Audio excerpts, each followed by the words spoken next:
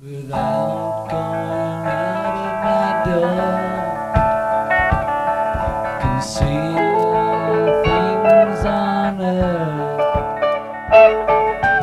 Father won't travel.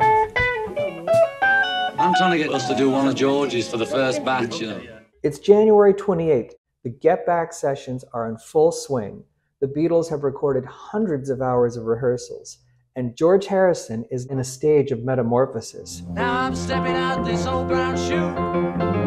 Baby, I'm in love with you. Once with almost no interest in writing songs, George Harrison is now evolving into a prolific artist. Something in the way she moves. This is why on this day we see George Harrison emerging from the chrysalis and pitching a trio of new Harris songs. All things must pass away. But then George Harrison, almost on a whim, starts playing this other song that no one's ever heard before.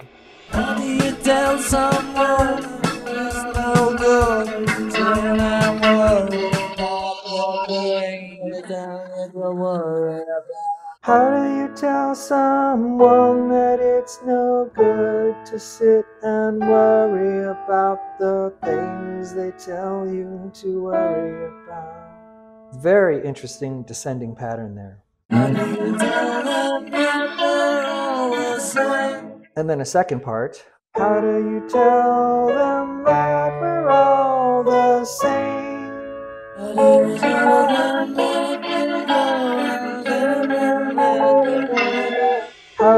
Tell them where we go when they don't?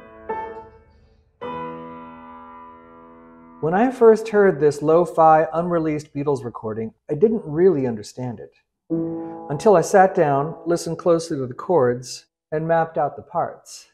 Now it is one of my all time favorite Almost Beatles songs.